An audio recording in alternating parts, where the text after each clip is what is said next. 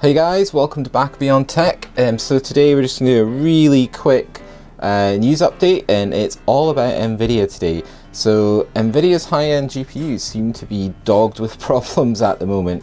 Um, there seems to be two separate issues and a lot of people are getting them confused. So I just thought I'd put out a really quick video to go through it. So number one affects GTX 1070s only as far as people are aware now and it only affects add-in board partner cards, the likes of EVGA, MSI, Asus, blah blah blah.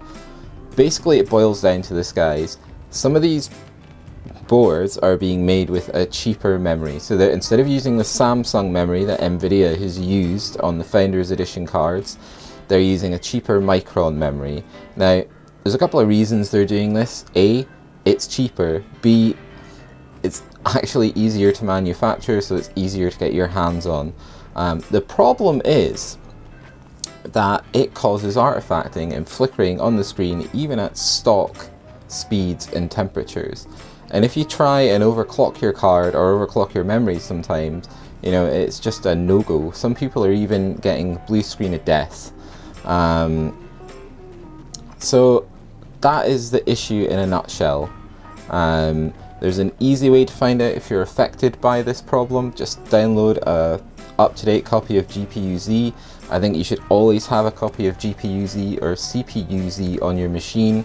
Um, simply run GPU-Z and it'll give you all the specs of your card and it'll tell you who manufactures the memory on that card. If you're using Samsung memory, you're absolutely fine. You have nothing to worry about as far as we're aware so far.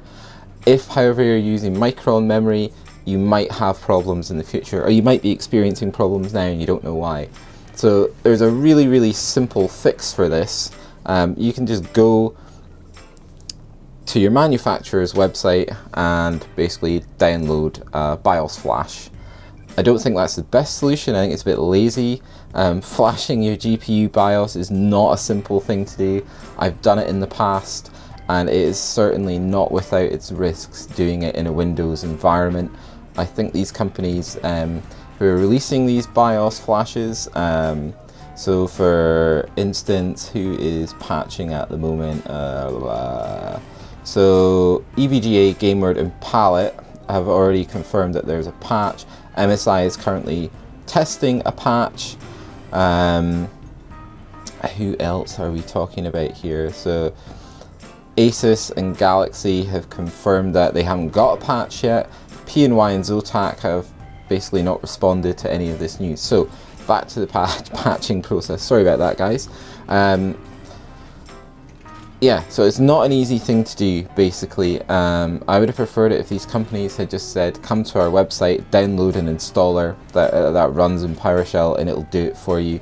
Because believe you me, you could easily turn your $400, $500 graphics card into a brick, into a paperweight essentially. I've done it in the past, flashing cards. Uh, it's not an easy thing to do. Uh, personally, I'm pretty disgusted um, at the reaction and also at these companies' behavior. They're, I mean, these cards are already, you know, overpriced in my opinion. They've gone through a really ridiculous kind of pricing structure at launch and they were so hyped. And to be, you know, sort of a few months into their life cycle and they've already got problems. Just for me is it leaves a bitter taste in my mouth. Um, so that's that's that problem.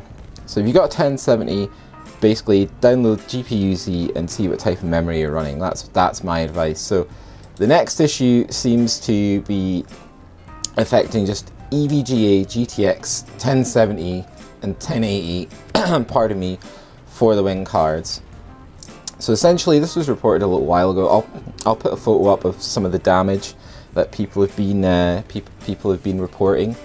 So what it comes down to is basically the VRMs on these cards are getting too hot. So um, there's a bit of conflicting information here. Some people are saying there are no thermal pads on the VRM. Some people are saying the VRM pads are too thin or, or they're not adequate to cool that area.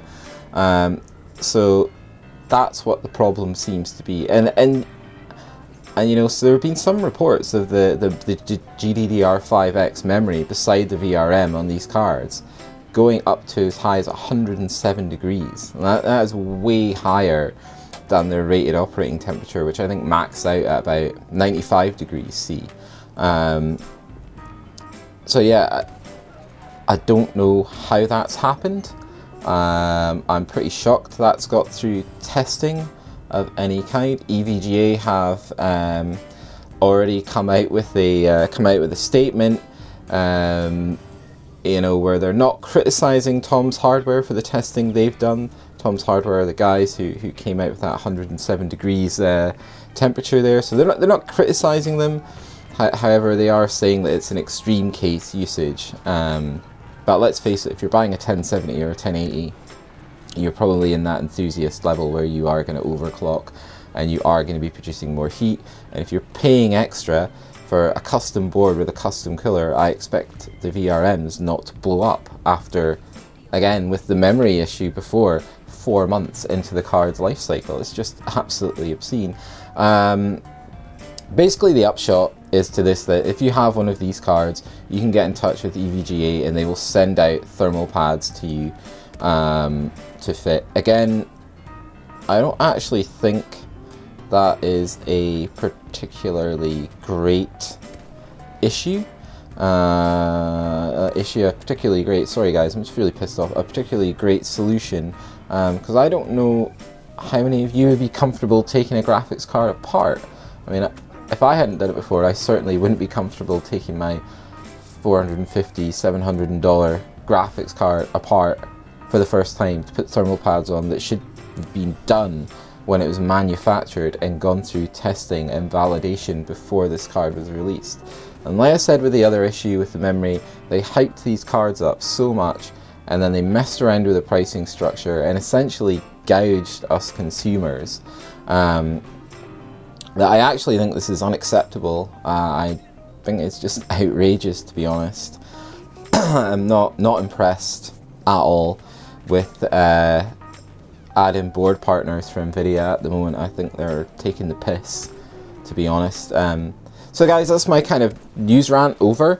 Uh, I hope you liked the video. Uh, if you like the video, like it. If you don't like it, you know, dislike it. Let me know your thoughts on these two issues in the comments below. I always read the comments. I find the comments really, really interesting.